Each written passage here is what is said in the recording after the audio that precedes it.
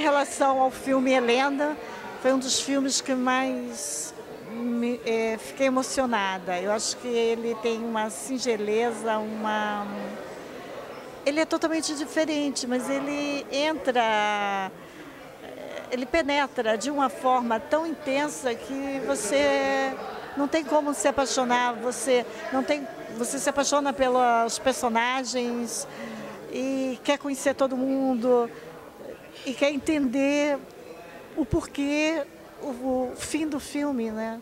Então é um filme que me emocionou e a qual eu escolhi para vir ao festival, né? Sou uma das diretoras e acho que também todos se apaixonaram.